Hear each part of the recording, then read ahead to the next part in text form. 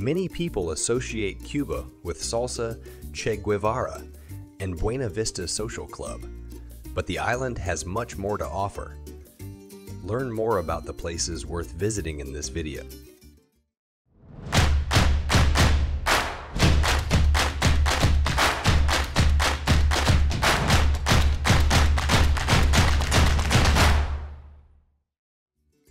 It is said that the most important elements of life in Cuba are music and dance.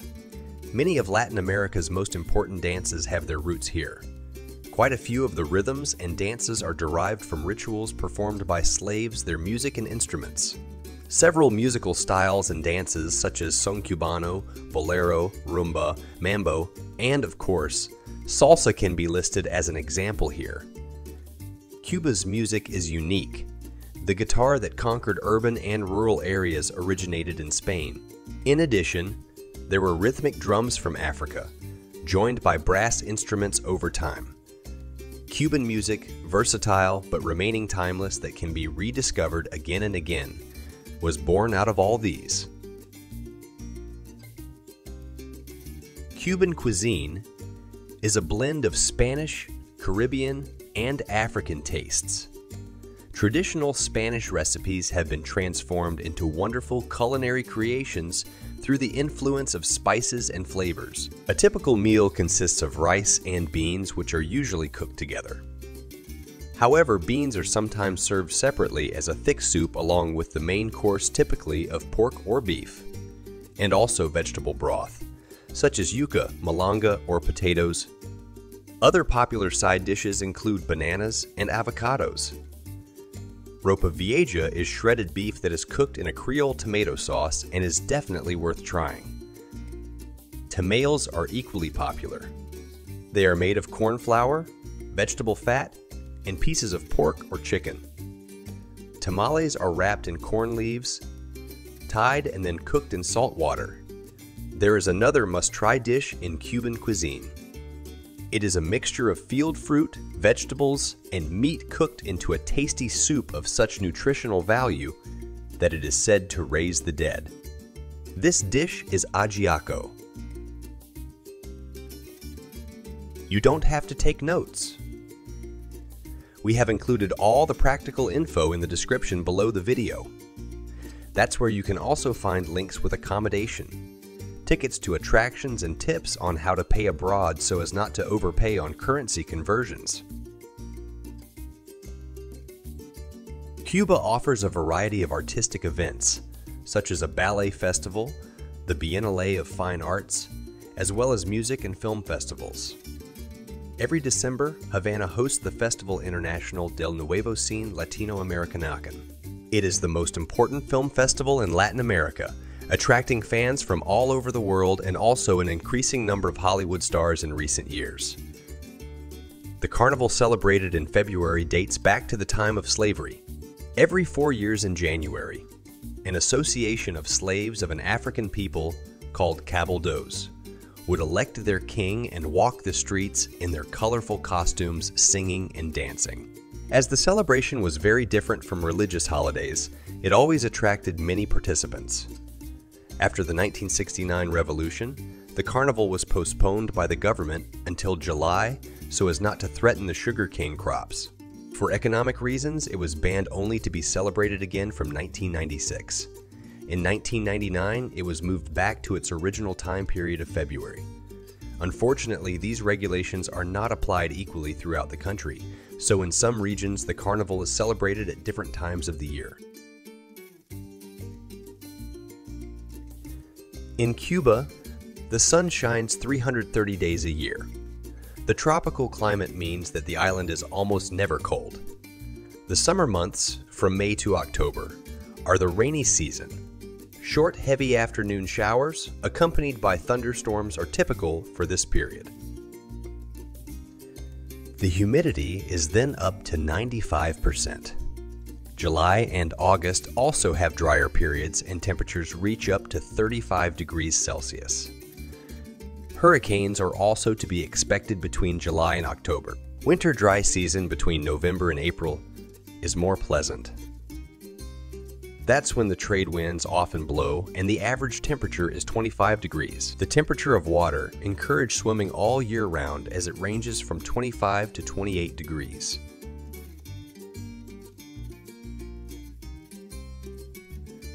The island is a paradise with about 8,000 different plant species. The most famous tree is the silver royal palm which can reach up to 40 meters in height. It is the national tree of the island. For the Cubans, the royal palm symbolizes the steadfastness of the Cuban people. The palm's wood and bark are processed into furniture or roofs. About a quarter of the island is covered with pine and mahogany forests.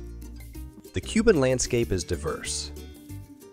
The northern coast is rocky in parts with steep shores. The southern coast is rather shallow and swampy. The highest mountain range is the Sierra Maestra. Havana attracts with its magnificent old town, which is a UNESCO World Heritage Site. The charm lies primarily in the contrast of beautifully restored buildings that meet with ruined colonial buildings. The best impression of Havana's former beauty can be found on the Calle Obispo. Of course, a visit to the Malecon waterfront promenade is a must. East of the Castillo de la Punta is its most beautiful part which attracts lovers and romantics. Plaza de la Revolucion, the Capitol, the Grand Teatro, and the cathedral should also be on the list of things to see in Havana. A visit to a regular grocery store is highly recommended too.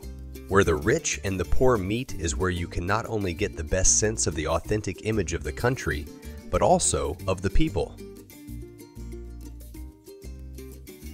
Unlike Havana, Trinidad offers tourists an organized city with colorful colonial style houses, narrow streets, and above all, loud music, and a truly Cuban vibe. Anyone who loves passionate sounds should head to Casa de la Musica, where you can dance all night long. Plaza Mayor, the Judith Vidal Faith Museum, and the famous Ancon Beach are among city's most popular attractions.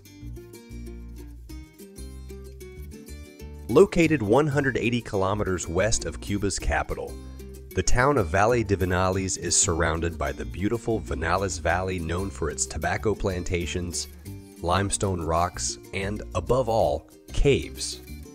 The Mogotes rock formations were formed 170 million years ago and consist of limestone. They were declared a UNESCO World Natural Heritage Site in 1999.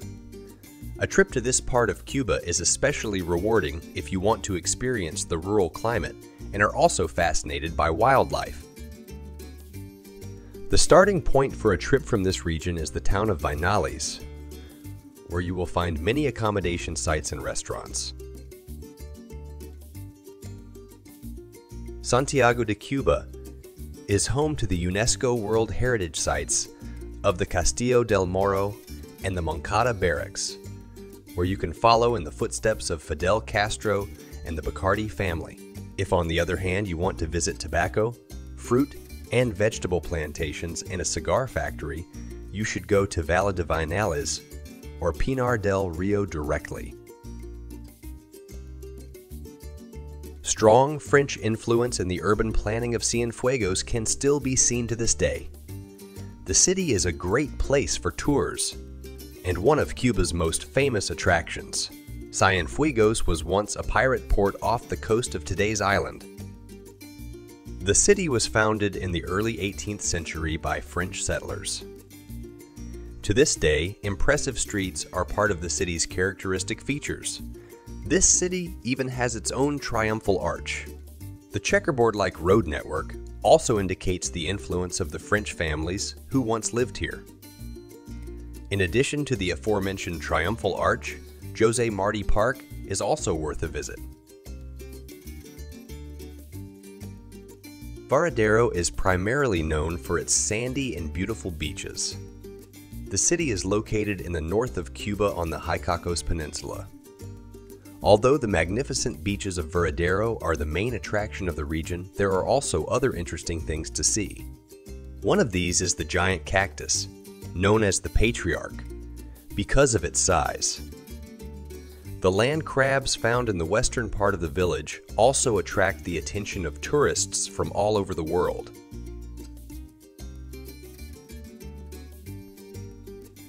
The Jardines de la Reina archipelago is located south of Cuba in the Caribbean Sea. It is 120 kilometers long and is the third longest coral reef in the world. 600 coral islands form a unique nature reserve of great biodiversity. The archipelago was named by Christopher Columbus in honor of the Spanish Queen and has a colorful underwater life to offer with tropical fish and unique corals. The archipelago is considered one of the most pristine coral reefs in the Caribbean, is strictly protected, and still retains its intact ecosystem to this day. Jardines de la Reina is a dream diving spot and one of the most beautiful places in Cuba. Not only does it offer a unique opportunity to observe sharks, but often also sea bass, barracuda, and parrotfish. Lizards, crocodiles, and flamingos can also be found here. There is no doubt that one of the best cigars in the world come from Cuba. In the Pinar del Rio region, there is no better place to see how and where these Cuban specialties are made. There are entire tobacco plantations that will offer you the opportunity to roll up your own cigar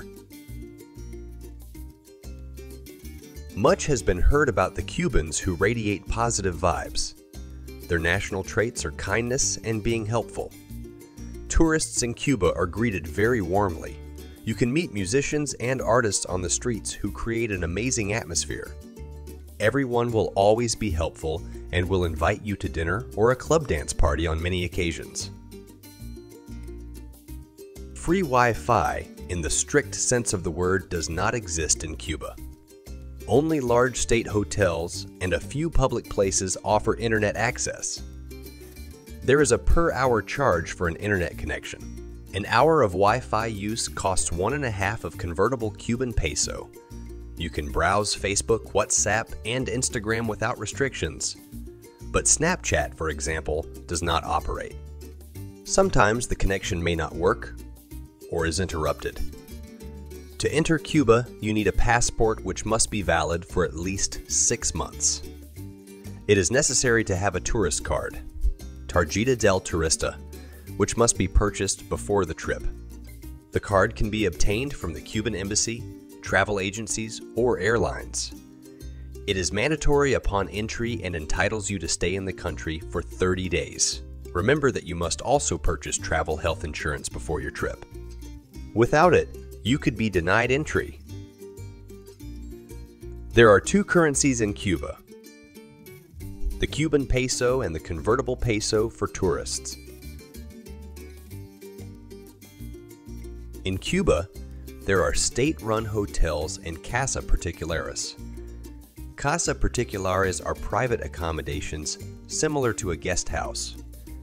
This is the cheapest and most authentic way to stay in Cuba.